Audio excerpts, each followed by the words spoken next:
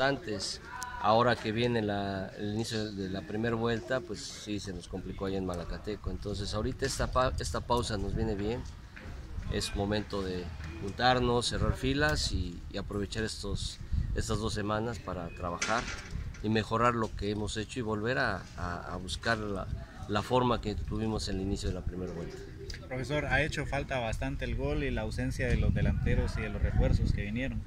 Sí, por supuesto, es, no nos podemos negar, justamente vamos a trabajar esa parte, la definición que es algo que hemos quedado a deber. Y bueno, hoy en este momento vamos a mejorar, a potenciar el nivel de cada jugador, pensando ya en el primer partido de esta etapa, que va a ser de local y, y tenemos que ganar. Son dos semanas, profesor. ¿Qué será importante trabajar a lo largo de todo esto?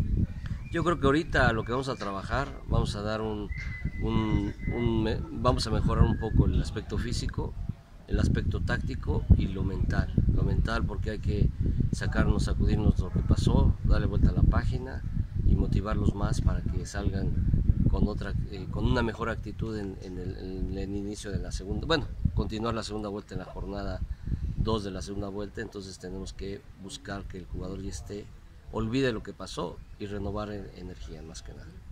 Profesor, a su llegada ya sobre esta primera vuelta, ¿cómo encontró este equipo y cómo lo ve ahora a pesar de esa mala racha? No, yo creo que a pesar de la mala racha, creo que hemos hecho buenos partidos. Los partidos que hemos perdido al final, hubo momentos en que fuimos superior al rival. La diferencia fue que cometimos errores puntuales y, no nos repusimos en algunas situaciones. ¿no? Nos meten el gol muy rápido pero yo creo que eh, eh, podría ser bien a secas, bien a secas, tenemos que mejorarlo.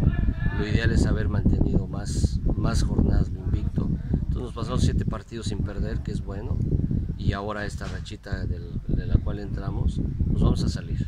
Creo que contra Municipal hicimos muy buen partido, al final un autogol eh, faltando 5 o 7 minutos nos quita el triunfo, pero bueno, creo que la forma que el equipo está jugando me está gustando pero todavía necesitamos eh, el toque final que es el gol. Profesor, hoy